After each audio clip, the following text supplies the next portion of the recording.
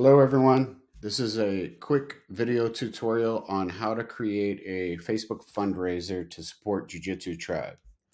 So on the left-hand side of your Facebook page, you will see some options. You may have to expand the see more option, but one of those options will be fundraisers. You can click on fundraisers and then there's a button that says raise money. You can click on that First thing you'll do is search for Jiu-Jitsu Tribe and then select Jiu-Jitsu Tribe as the nonprofit that you would like to raise funds for. Then also on the left-hand side, there's a option to fill out the target goal for your fundraiser. So in this case, I'll say $500 is my target goal.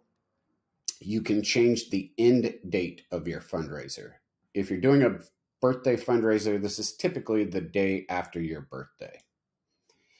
You can then change the title. So, for example, if I wanted to add uh, birthday to the fundraiser title, I can do that. We provide some default language for the description of the fundraiser, but you can certainly change that if you would like as well. And then you simply cr- click create, and that will post this fundraiser to your personal Facebook page. And at that point, it will be live and any donations that are received uh, through that fundraiser will go to Jiu Jitsu Tribe, and Jiu Jitsu Tribe uses those donations and any funds that we receive to support social projects, specifically that are for children in impoverished areas. So, thank you for your support.